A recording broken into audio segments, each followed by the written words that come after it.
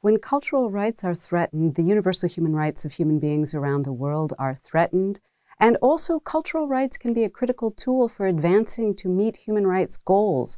I'm very worried about the discourses of exclusion that we are hearing, increasingly normalized discourses from some political leaders, from candidates, uh, that certain groups, uh, minorities, are somehow other, that it is now acceptable to express uh, hate speech, to express discriminatory views in a way that perhaps a few years back uh, people would have known uh, not to do. I am deeply alarmed by this. Cultural diversity, in accordance with international standards, is a critical part of cultural rights, and we need to understand that universality and cultural diversity go together. Universality is not a weapon against cultural diversity, nor is cultural diversity a justification of human rights violations. We have to enjoy these aspects of human existence in an integrated way. Every actor in society, the Universal Declaration speaks to all of us.